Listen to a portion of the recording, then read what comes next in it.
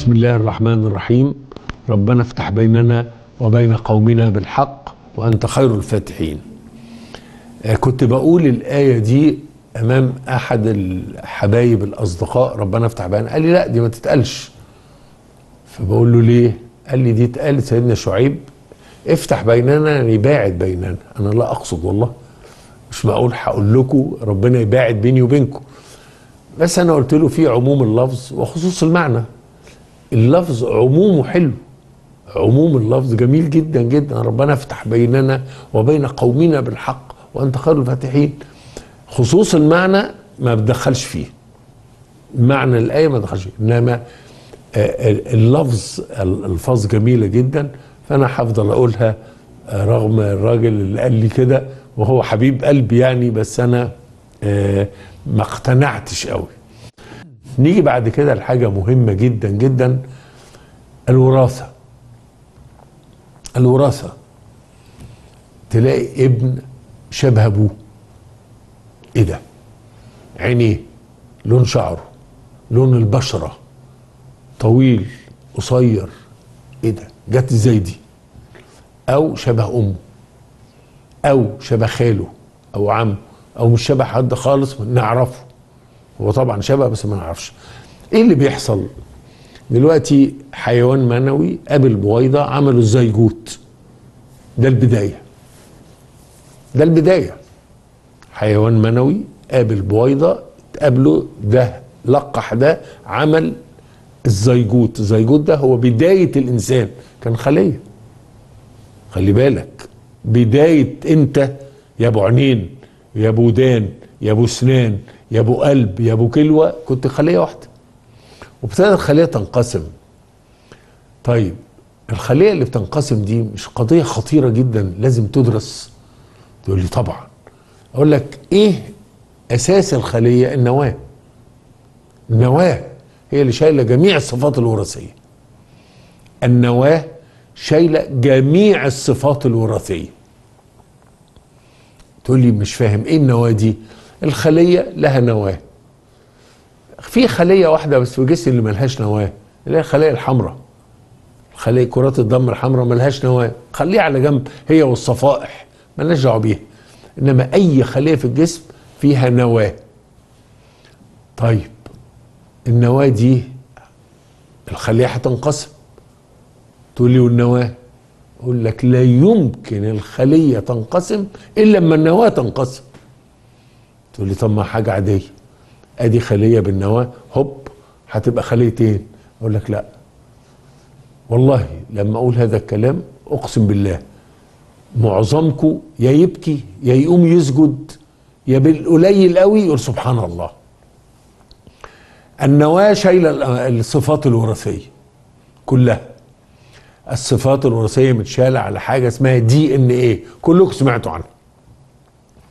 المحاكم لما يحب يعرف البنوة ده ابنه ولا مش ابنه يعمل دي إن إيه. سمعتوها في الأفلام وفي. كل حتة. عشان خلية تنقسم بص اللي جاية عشان تقول سبحان الله لازم الدي إن إيه يتضاعف. يتضاعف. يعني أنا عندي بجنيه دي إن إيه. عايز اقسم يبقى ب 2 جنيه. فشلت. إن اعمله ب 2 جنيه ما تنقسمش. ما تنقسمش الخلية. عشان الخلية تنقسم لازم تضاعف كمية الدي ان إيه اللي فيها. ضعفت ممكن في هذه اللحظة أبقى خليتين والخليتين كل خلية شايلة نفس الصفات الوراثية. لماذا؟ ما خلاص قسمت. ضعفته قبل ما أقسم. لو كنت قسمته وهو ب 10 جنيه كانت الخلية دي طلعت خمسة وخمسة. ما طلعش الصفات لا أنا عايز 10 و10 يبقى ال 10 هتبقى 20 ولما انقسم يبقى 10 هنا و10 هنا بنفس الصفات الوراثية. بصوا بقى الآية الجميلة بقى فالق الحب والنوى. هو اللي قاسم النوى فالق الحب والنوى. هو ده ربنا سبحانه وتعالى بيديك صفات أبوك أو أمك أو جدك أو خالك بهذه الطريقة إنك أنت تضاعف كمية الدي ان إيه ضعفتها انقسم بقت دي خلية ودي خلية كأنها نفس الخلية. كأنها نفس الخلية. تخيل أنت عندك حاجة في رقم. بتخلي الرقم ده اتنين وبعدين تقسمهم كأنك ما عملتش حاجة. فسبحانك الله يا رب سبحان الله. فالق الحب والنوى. نلتقي بعد الفاصل إن شاء الله.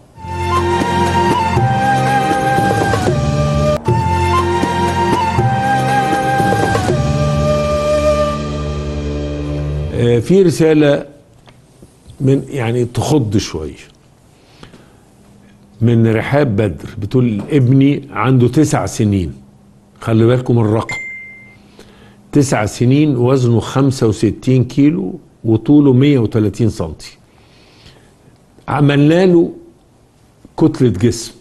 أنتوا طبعا عارفين وحفظتوا كيف نحسب كتلة الجسم.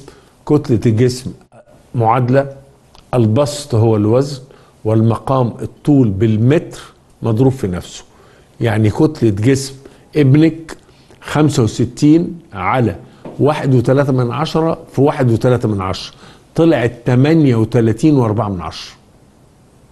38 وأربعة من عشرة. ده رقم كبير جدا بالنسبة لطفل سنه تسع سنين. نسبة الكوليسترول عالية جدا جدا. وفي خطر يصاب بمرض السكر. إيه الطريقة اللي ينزل بيها نسبة الكوليسترول وإيه نظام الأكل اللي هيمشي عليه؟ طبعا هي حالة انت معتقدة إنها حالة طبيعية. لا. اطلاقا.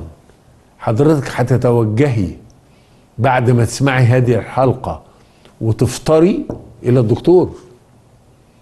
إلى الدكتور. الولد ده كتلة جسمه 38 وأربعة من عشرة. إحنا بنخاف فوق 35 بنخاف فوق 35 فده 38 واربعة من عشرة. إنما أنا هجاوب إجابة عامة بقى. هو هيروح للدكتور. أوعي. أوعي تفتكري الحكاية نظام غذاء و... وواد ما تاكلش وما... أوعي تفتكري كده. لازم تروحي تشوفي الكوليسترول. أنا حكيت حكاية قبل كده. ما بتكلمش على ابنك. حاشا لله. ما بتكلمش على ابنك. إنما حكيت حكاية قبل كده.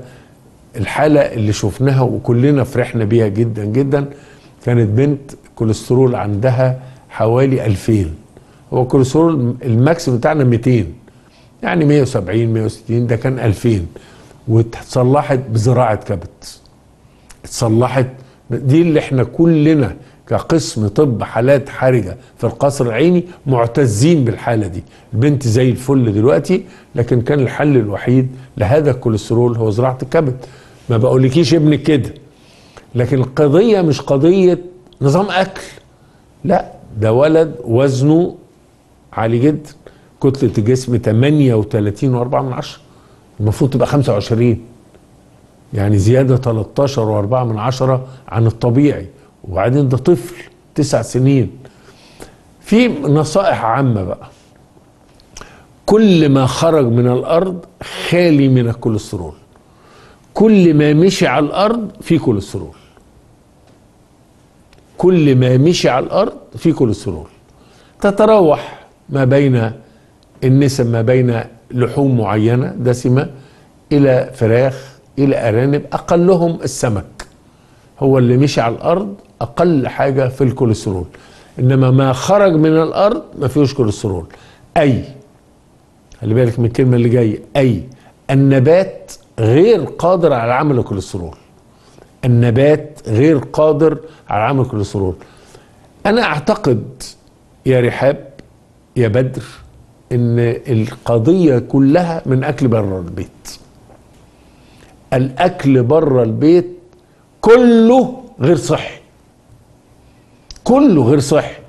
يا هيجيب لك جرثومة معدة. يا هيجيب لك فيروس إيه. يا هيعمل لك سمنة أنت مش قدها. جميع مشاكل الولاد الصغيرين الشباب هم طبعا يحبوا أكل بره البيت جدا وإحنا بنحذر يوميا نحذر منه. في أماكن عملنا وفي التلفزيون وفي أي حتة بنحذر من الأكل بره البيت. السعرات الحرارية عالية جدا ومش بس كده سعرات حراريه عالية هيتخن ومليان كوليسترول. كمية الكوليسترول اللي في الأكل بره البيت عالية جدا وبالتالي أنا يعني بأذي بني آدم. بإيه؟ عشان آه، ياكل سندوتش مش عارف إيه ولا إيه ولا إيه. لا. دور الأم والأب مهم جدا في منع الأولاد من الأكل بره البيت. الأكل بره البيت يعني حاجة بشعة. يا أمراض معدية يا أمراض بقى تمثيل غذائي يلا كنت قاعد تصلحها فانت يا بنتي هتروحي للدكتور بسرعة وهيقول لك طبعا نظام الأكل إيه وهياخد دواء هياخد دواء ما دام الكوليسترول عالي. وعيب جدا جدا إن أبتدي دواء كوليسترول مع واحد سنه تسع سنين بسبب الأكل. أنا أبتديه على عيني وراسي لو وراسي لو وراسي الولد ده من أسرة ورثته كوليسترول ماشي ملوش ذنب. إنما كتلة الجسم بتقول لي غير كده. كتلة الجسم بتقول لي إن الولد ده مستهتر في أكله. مستهتر غالبا الكوليسترول مش وراثي. بعدين جبت سيرة السكر. وارد. وارد. ليه اللي وزنه عالي عرضة أكتر للسكر؟ هقولها لكم دي معلومة جميلة جدا. معلومة رائعة تعرفها. ليه؟ اللي وزنه عالي عرضة أكتر للسكر. أكثر الأنسجة استهلاكا للإنسولين النسيج الدهني. النسيج الدهني. أنا هفترض ربنا خلق لي ب 20 جنيه إنسولين في جسمي. لو أنا تخين من ال 20 جنيه أستهلك 18 جنيه. للإبقاء على هذا الدهن. فاضل لي 2 جنيه هيجي لي سكر هيجي لي سكر الانسولين قليل. عشان كده ال- السمين عرضة للسكر أكتر من الرفيع بكتير. ليه؟ أكثر الأنسجة استهلاكا للإنسولين هو النسيج الدهني. فهيستهلك الإنسولين مش هيسيب لي حاجة منه هيبتدي سكري يعلى وتبقى مشكلة. ابنك يا رحاب يا بدر لازم تخلي بالك منه. وارد السكر أو وارد يجي خاصة لو أسرة. لو الأسرة فيها سكر. إنما الأول نشوف الكوليسترول ده إيه حكايته؟ هل هو وراثي ولا مكتسب؟ لا ده أنا مكتسبه بالإيه؟ بالأكل الطريقة الخطأ اللي باكلها وهكذا. لكن خلي بالكم جدا جدا يلي سامعيني كلكم من ولادكم خلي بالكم من ولادكم الأكل بره البيت كارثة دخلنا فيها ما بقالناش 30 سنة. يعني إحنا جيلنا ما كانش يعرف أكل بره البيت خالص. كنت أما تشتري كوز ذرة مشوي يبقى هو ده. يعني ده ده الفجر. الفاجر بيشتري كوز ذرة. دلوقتي بتاخد ثلاث وجبات بره بيتك. ثلاث وجبات. ممكن أفطر وأتغدى وأتعشى بره بيتي. احسب بقى كمية السعرات الحرارية اللي خدتها في الثلاث وجبات دول. اضرب في 100 اضرب في 100 لو كان الأكل في البيت فطار غدا عشاء في البيت هنقول 2000 سعر حراري. بره 20000 سعر حراري. نلتقي بعد الفاصل إن شاء الله.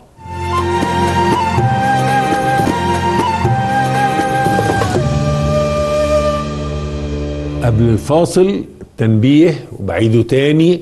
يا ولاد يا صغيرين يا شباب عايز تطلع صحتك حلوة وتقدر تتجوز كويس وتخلف كويس وعايز ما تبقاش شكلك وحش ما تاكلش بره بيتك.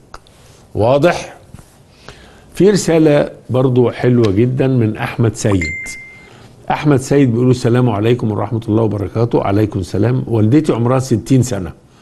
تعاني من ألم ونغز في أعلى الجهة اليمنى من الظهر. هنا.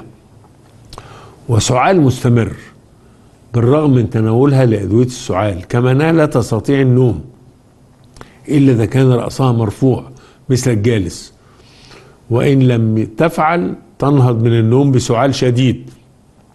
ولا تستطيع التقاط أنفاسها وتشعر بتنميل بالرأس ودوخة مع العلم أن والدتي مريض السكر من الدرجة الثانية قصدك النوع الثاني يعني. وتعاني من مرض ارتجاع المريء والضغط في أغلب الأوقات بيكون منخفض وتناول دواء كذا تحت اللسان. برجاء إيصالها إلى الدكتور وشكرا وصلت. دي رسالة رائعة. رائعة. لماذا؟ إذا كانت ما راحتش للدكتور فهي مخها مش هيجيب الواقع. إذا كانت ما راحتش للدكتور والدتك مخها مش هيجيب الواقع. هو إحنا الواقع بتاعنا إيه؟ أي واحد بيكح يبقى صدر. عنده التهاب في الشعب آه كورونا التهاب رئوي شوية برد. ده اللي بيجي ببال أي مخلوق. وهذا خطأ قاتل. هذا خطأ قاتل. إن أنا أفتكر اللي بيكح ده صدره تعبان. أصل أنت بريت يا ماما وما تقلقيش وهجيب لك دواء كحة. زي ما كتبت إنها خدت أدوية الكحة ومفيش استجابة.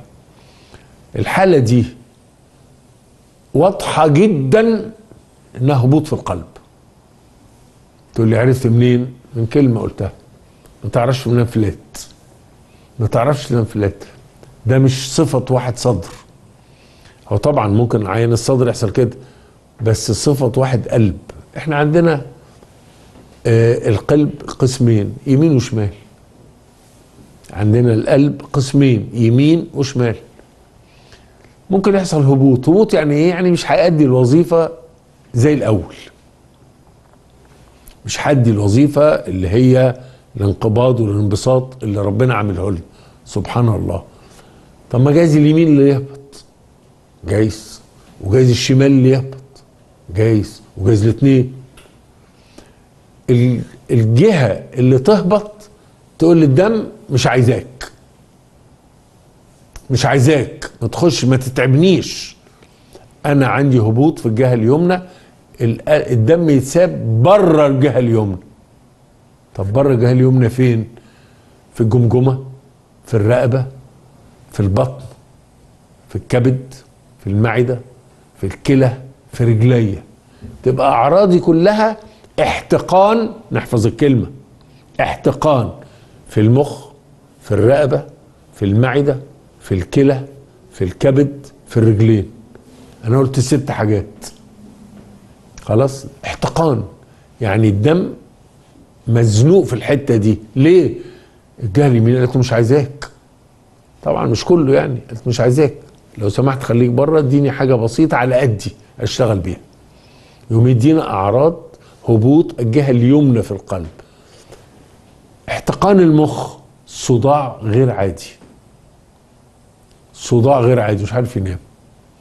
يعني طول الليل عنده أرق قلة نوم ليه؟ احتقان مخ. تخيل بقى واحد شوف جمال الطب. بص روعة الطب. واحد جالك بصداع. تشتكي من إيه عندي صداع عنيف قوي مش عارف أنام بالليل. مش عارف أنام بالليل. ويطلع هبوط في القلب. اني جه الناحية اليمنى أو احتقان في الكبد. آلام عنيفة في الناحية اليمين. وهو فاكر إنها مرارة. أصل يا دكتور أنا الناحية دي دي المرارة وكان عندي حصى فيها وبيطلع هبوط في الجهة اليمنى في القلب.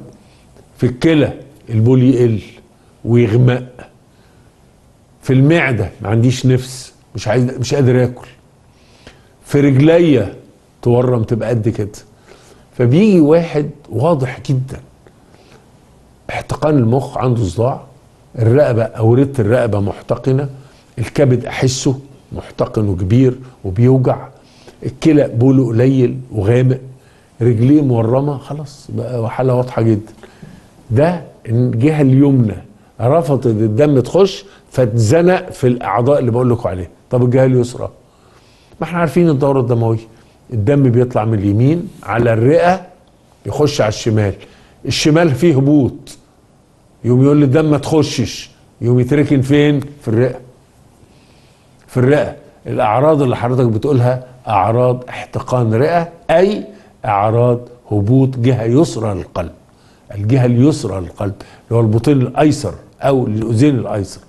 الدم احتقن في الرئة بقت محتقنة. مش هتعرف تشتغل. يكح. يكح. وساعات يطلع بلغم. وساعات البلغم يبقى فيه دم. معرق بدم البلغم. ما يعرفش ينام فلات لأنه لو نام فلات بيكتم نفسه لأن الرئة محتقنة. مليانة دم. الرئة مليانة دم هيتنفس إزاي؟ يروح قاعد. إن عينه راحت في النوم الاحتقان بيزيد وأنت نايم. يروح مصحيك من النوم. تعتقد إن الأكسجين خلص من الأوضة. تجري على الشباك تفتحه عشان تلم. ده نموذجي. الأعراض دي نموذجية لواحد هبوط جهة يسرى القلب. إذا ما اسكتش الحكاية مش حكاية كحة خالص. حكاية هبوط في الجهه اليسرى القلب. هبوط الجهه اليسرى القلب عايز علاج خاص جدا. بداية نعرف سببه إيه؟ يا ترى في ضغط يا ترى في شريان تاجي يا ترى العضلة تعبت لوحدها يا ترى يا ترى يا ترى حاجات كتيرة جدا. تعدي ال 25 حاجة. عشان تعرف الطب مش سهل. تعدي 25 حاجة احتمالات كثيرة جدا جدا. وبالتالي أحمد سيد تاخد والدتك وتروح لدكتور قلب بسرعة. بسرعة. لماذا؟ لأن الأعراض اللي بتقولها أعراض هبوط جهة يسرى للقلب. البطين الأيسر أو الأذين الأيسر جايز فيه مشكلة في الصمام بس هي بتقول سن 60 سنة. وما ما قالتش فيه سكر ولا آه مريضة سكر. أدعى أن إحنا نجري على الدكتور. ده أدعى. لأن السكر له مشاكل كتير جدا مع القلب. السكر له مشاكل كتيرة جدا مع القلب. وبالتالي لازم تروح لدكتور بسرعة وإن شاء الله بإذن الله ربنا يكتب لها الشفاء. نلتقي باكر إن شاء الله.